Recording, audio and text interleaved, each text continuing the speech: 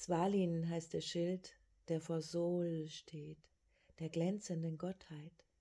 Brandung und Berge verbrennten zumal, senk er von seiner Stelle. Wir sprechen hier von Sol, Sovelo, der Sonne, der Strahlkraft, die alles zum Wachsen bringt. Und doch benötigt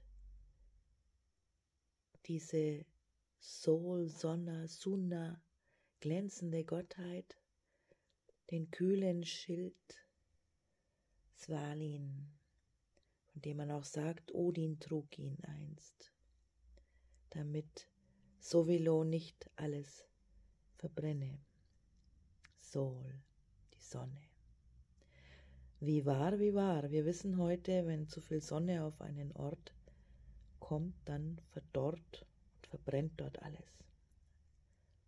Es braucht den kühlenden Schild. Und genauso ist es in unserem Leben, in unserem persönlichen Dasein. Wenn du in Sovilo-Kraft stehst,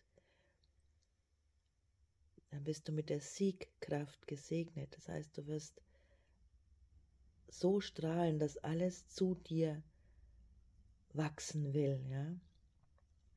Das ist super. Aber es ist auch wichtig, dass dazwischen immer der kühlende Schild des Verstandes steht, deines Verstandes, der dir sagt, hey, übertreib's da mal nicht, sei da mal nicht zu wild dahinterher, sei da mal nicht zu verbissen, sondern strahle einfach. Und der Schild deines Verstandes wird genau die richtige Wärme auf deine Projekte geben, damit diese wirklich gut und schön gedeihen. So wie löst eine mächtige Kraft, die Eisschmelzerin, die Kraft, die uns den Tag hell macht. Der Tanz von Erde und Sonne ermöglicht Leben. Aber sei dir bewusst, die Sonne an sich tut nichts aktiv.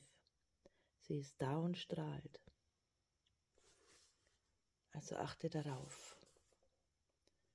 Nicht zu sehr aktiv in der Sovilo-Kraft zu sein, sondern diese zu nutzen und einfach in deinem Strahlen zu sein und dich auf deinen kühlen Schild Swalin zu verlassen, der genau die richtige Art von deiner Strahlung in dein Leben und zu den umgebenden Projekten und Menschen durchlässt.